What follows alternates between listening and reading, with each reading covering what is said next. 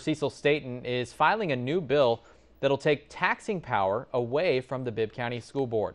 That means the new commission will be in charge of their budget. We spoke with some board members and Senator David Lucas, who's calling the legislation racist. 41 NBC's Ashley Manelli joins us now with more on that bill. Senator Staton says this bill is a response to what he calls shenanigans and dysfunction on the Bibb County School Board. He says he doesn't want to take away their power, but they're not spending your money correctly. He feels this is what he has to do for the residents of Bibb County.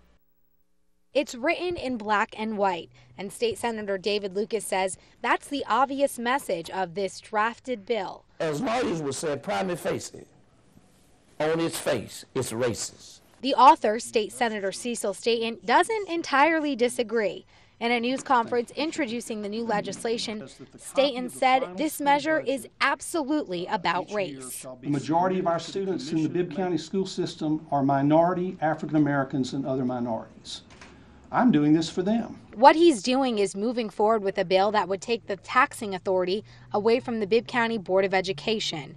It would require the board get their budget approved by the Macon Bibb County Commission under the newly consolidated government, a power the people gave the BOE in 2004. Given the outpouring uh, of concern that I have received, I have no compulsion or no concerns about doing this as local legislation. Board member Lester Miller says hearing about this measure is a little concerning, and as a new member of the board, it's also disheartening. What's the purpose of bringing all these new board members to try to get things back on the fast track if you're going to turn around and tie our hands at the same time? In a news release, board member Jason Downey said, quote, I've heard from many parents across Bibb County who are crying out for hope.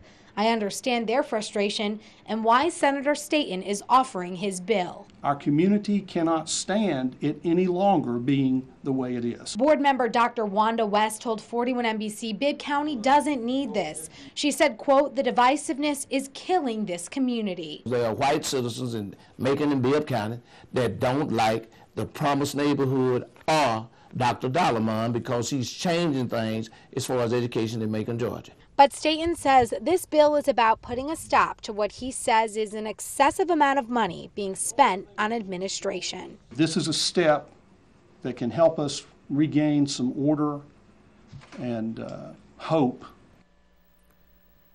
To be clear, we did reach out to all eight board members. Some of them told me they didn't want to comment until they saw the legislation.